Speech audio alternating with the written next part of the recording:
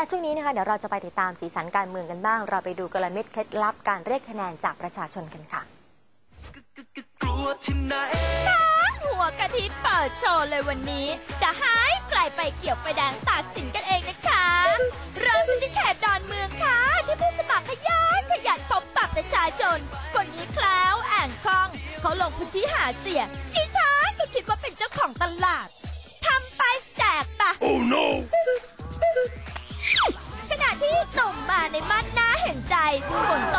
ยันชีวิตมาแล้วจ้าฟ้าป่าชูวิทย์ผู้สมัครปาร์ติลิสต์เบอร์ห้าได้พลิกวิกฤตเป็นโอกาส ประกาศกล้าวมาแบบฉลาดแล้วตลาดก็กว้างคนก็กระจาย ร้อนก็ร้อนตรงนี้นะที่เดียวดักเลย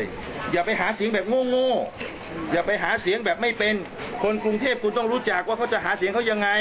ไม่ใช่ไปเดินไม่รู้เรื่องเช้าเขาก็จะรีบไปทำงาน เที่ยงเขาก็จะรีบกินข้าว เย็นเขาก็จะรีบกลับบ้านเสาร์อาทิตย์เขาก็ไปอยู่ศูนย์การค้าคุณเคาะไปก็มีหมาเห่าไล่ เพราะฉะนั้นเนี่ยต้องรู้จักจุด ต้องรู้จักวิธีเป็นกลยุทธ์พิเศษ ซึ่งไม่มีใครรู้เรื่องหรอกส่วนดิฉันจะขอเชื่อก็วันที่ 3 กรกฎาคมก่อนนะคะ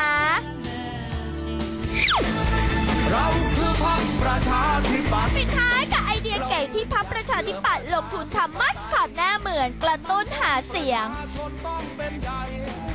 ขณะที่ป้าร์คพันธมิตรก็ขอเก็บเก๋ดึงอุลตร้าแมนกับหัวหุ่นหนุมาน มาเชิญชวนโนวดหนุมานชาญสมรกระบี่วานอนรุ่มร้อนกายาลีลาเด็ดของผู้สมัครสอสอยังมีอีกมากมายนะคะ ตามต่อได้ในวันพรุ่งนี้แต่ วันที่ 3 กรกฎาคม อย่าลืมออกไปใช้สิทธิ์นะคะบ๊ายบาย